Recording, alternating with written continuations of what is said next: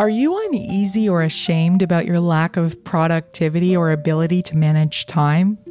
Author Adam Grant calls this next title the most important book ever written about time management.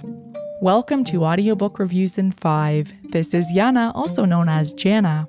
In today's episode, I'm reviewing 4,000 Weeks Time Management for Mortals, written and read by Oliver Burkeman.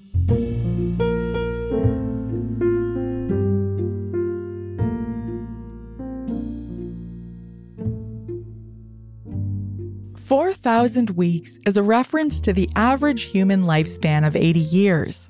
In this book, Oliver Burkeman confronts the problem that belies popular productivity advice, and that it usually fails to address the fact that our lives are finite, not very long, and that we have limited control over the course of events. I've already listened to this audiobook twice, and if you're a regular listener of this podcast, you might remember I'm a huge fan of Burkeman's first book, The Antidote, which remains on my top five books list. I've revisited that audiobook many times, so when I heard that Burkeman was planning to publish a book about productivity, I eagerly counted down the months, weeks, and days to publication. At the time of this recording, 4,000 Weeks is the top seller on Amazon in the category of Sociology of Death. This is not a book about life hacks like achieving inbox zero. Instead, Burkeman argues persuasively that our thinking about productivity and efficiency is a trap, and that the day will never arrive when we finally feel we have everything under control.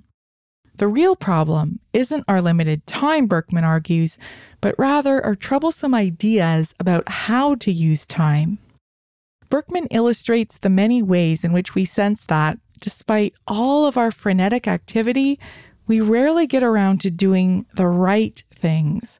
Quote, we sense that there are important and fulfilling ways we could be spending our time, even if we can't say exactly what they are. Yet we systematically spend our days doing other things instead. Unquote.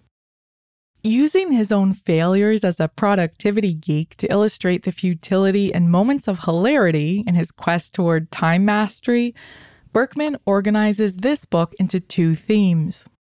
The first, called Choosing to Choose, begins with a reframing of how time was spent as a peasant in medieval England oriented around tasks and communal activities. This is compared to how we treat time today as an abstract entity, something to be saved and spent as efficiently as possible.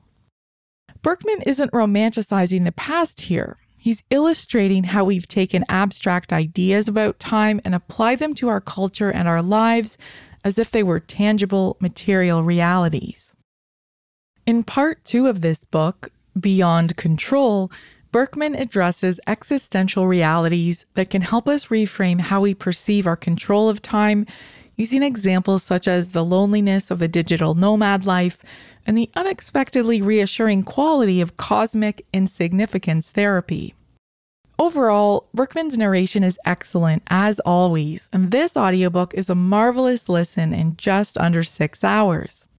Don't take the shorter length as any indication that this is light or forgettable, though. The quality of the writing is so good that I frequently stop to re listen to chapters just to appreciate the flow of ideas and Burkeman's dry and self deprecating sense of humor. He makes a funny example of Franz Kafka as the worst boyfriend ever for his terrible indecisiveness over a prolonged engagement and praises Sir Rod Stewart as a radical for pursuing a hobby as unsexy as building miniature train models. Burkeman handles politically fraught questions with humor too, introducing the time obsessed philosopher Martin Heidegger with his decade long membership in the Nazi Party, adding, quote, you're going to have to decide for yourself whether this exceptionally poor life choice invalidates his thoughts on how we make life choices in general. Unquote. For listeners or readers looking for opportunities to practice a limit embracing philosophy of life, Burkeman finishes up with 10 tools for embracing your finitude or your mortality as a guide for accomplishing more of what really matters.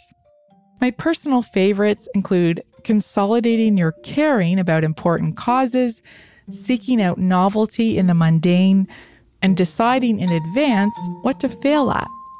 I'm personally adapted to avoiding anything to do with sports or parenting, for example.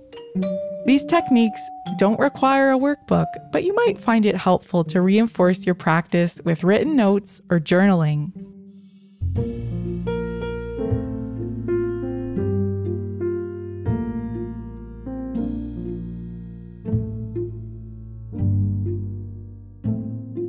That's all for this episode of Audiobook Reviews in 5. Thanks for listening. If you have not yet done so, please follow us on Facebook and subscribe to Audiobook Reviews in 5 on Anchor, Apple, Spotify, and many others. By subscribing, you help increase the profile of this podcast and chances of other listeners finding it. I look forward to checking in with you all again soon. Please stay safe and be well.